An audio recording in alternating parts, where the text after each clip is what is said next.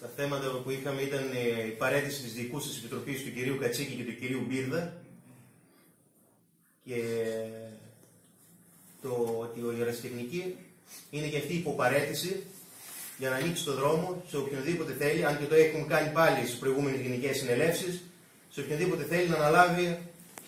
όλο το σύλλογο, θέλει να αναλάβει κάποιο τμήμα της ομάδας. Με αυτά τα δύο θέματα λοιπόν ήρθαμε σε μια πολύ κρίσιμη, όπως είπα, γενική συνέλευση. Δυστυχώς δεν υπάρχει απαρτία μελών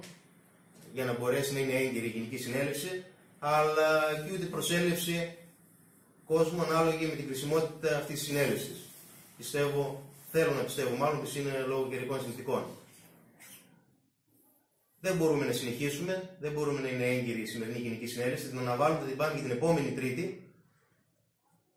να μαζευτούμε, θα είναι η τελευταία